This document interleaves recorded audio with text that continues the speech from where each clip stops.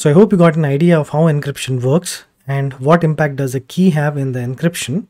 So I have kept it very simple so that everyone can understand the basics, but don't get carried away as things might get very tricky from here on. So please pay full attention to this. So one thing that I want to clear off at the start is that whenever you hear about encryption keys, encryption in general in AWS, that would be about KMS and that is our key management service. So having said that, the main objective of using KMS is that it helps you to easily create and control the keys used to encrypt, decrypt or digitally sign your data.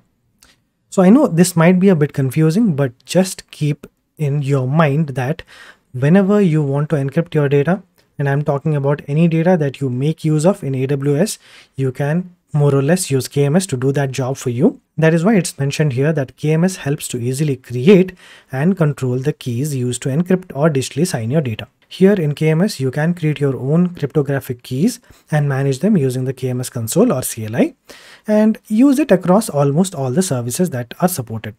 So I know it's a bit of exaggeration, but you can check the list of supported services in the documentation as well.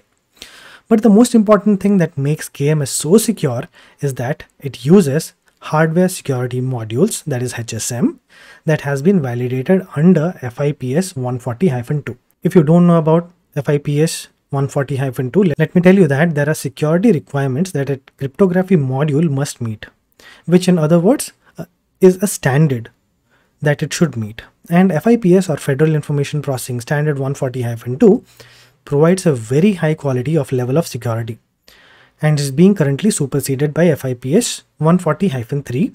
I think AWS will incorporate the new module for this as well in the future. I haven't checked that exactly, so don't worry about that. But if you want, you can read more about it in the documentation. Moving on, when it comes to compliance and auditing, you can as well integrate KMS to CloudTrail so that it can keep track of what is going on in the encryption modules and can alert you on the changes. One more good thing is that if you are making use of AWS free tier, it includes 20,000 free KMS requests each month. That is great, but it solely depends on how badly you are milking the service. And there are a lot of benefits of using KMS, but I have mentioned a few here that might be useful for you. So the first one is centralized key management. So creating your keys and using them is well and good, but how effectively can you manage the keys? Is really important, isn't it? And with centralized key management, you can control everything about the key using the AWS console or CLI, like key rotation, changing the keys or creating new keys or deleting keys and scheduling deletion and rotation as well. And that's something that is really good about KMS. The second one is also very important for you as an architect and developer, that is AWS service integration. So as I've already told you and explained to you about encryption and why at rest and at flight, encryption is very important. Here, AWS KMS integrates with a lot of AWS services to encrypt data at rest. And in order to protect your data at rest, integrated AWS services use envelope encryption that we will discuss in a short while, where a data key is used to encrypt the data and is itself encrypted under a CMK that is a customer master key stored in AWS KMS. There are so many services with which you can integrate KMS that you will be blown away. Just go to the link that I have shared in the description to view the list of supported services. So there'll be a lot of them like EC2, EBS, RDS, etc. Like a lot of them.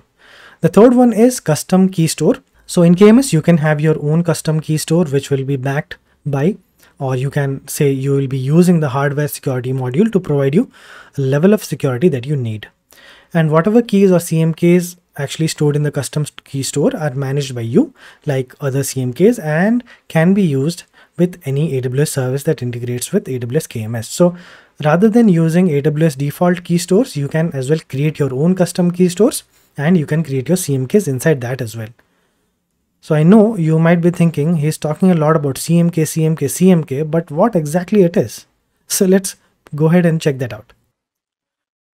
Okay, so as per the definition on AWS, AWS Key Management Service or AWS KMS is a managed service that makes it easy for you to create and control customer master keys and in turn the encryption keys as well that is used to encrypt your data. So here I want you to focus on the couple of terms that I have here. So one is managed service, the second one is create and control CMK and the third one is the encryption keys used to encrypt your data. So AWS provides you with a managed KMS service. So you don't have to worry about the things related to it. If uh, like the service is responding or not, or will it be up or not? What if it does not respond on time? Because it will be the headache of AWS and not yours. So don't worry about that. It will be responding as per your needs. So if you go to AWS console, you will see three options to use KMS. So you will see AWS managed keys.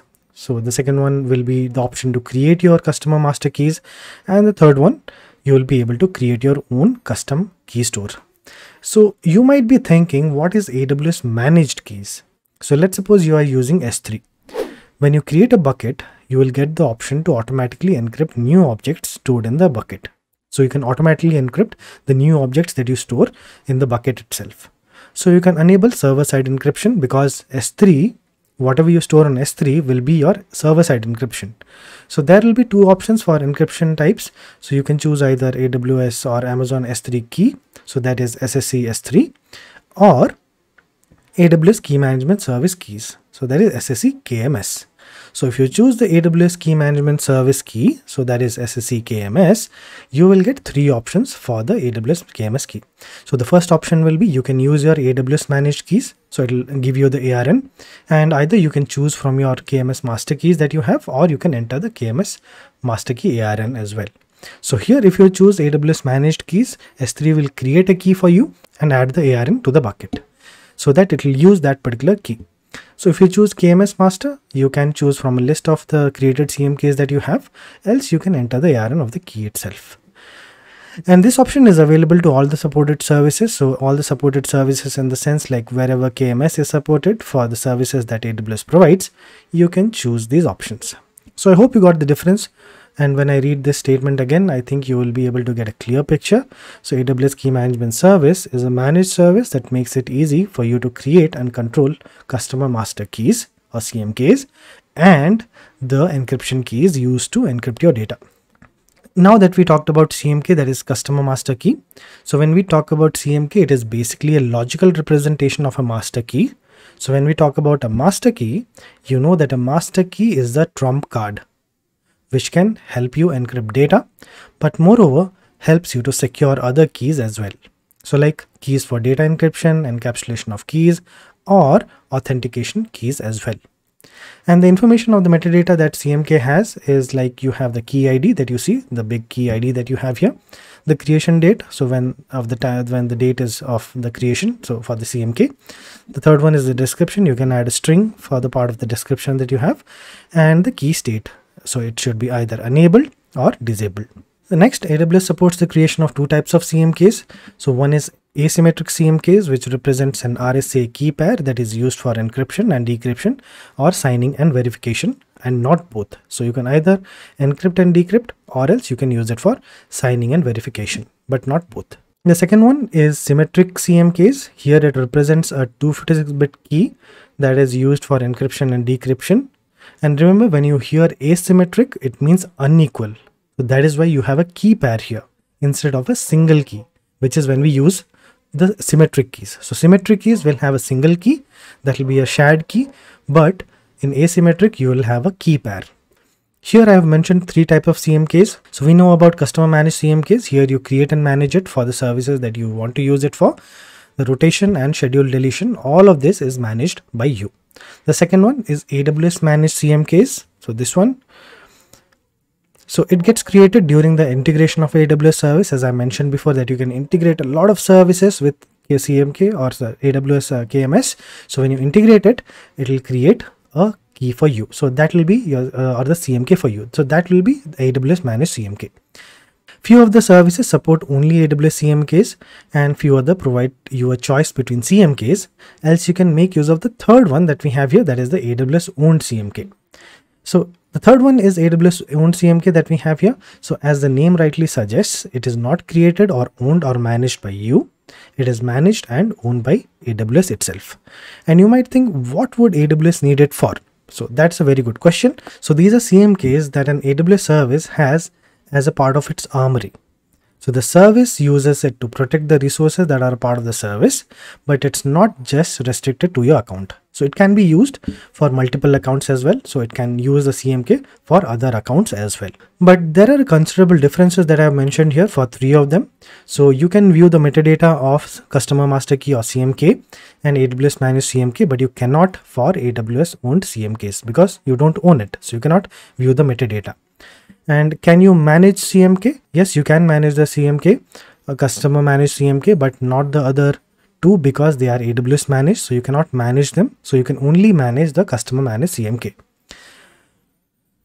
Third one, used only in my account. Yes, it's used only in your account if you choose customer master key and AWS managed CMK, but not for AWS owned CMK as I already told you. And the rotation policy or the automatic rotation policy is also different. So it is optional for customer managed CMK and it rotates for every 365 days or one year. And it is mandatory for AWS managed CMK required. So that is required because it is mandatory and it rotates every 1095 days, that is three years. And for the AWS owned CMK, it varies from the service to service to which it belongs.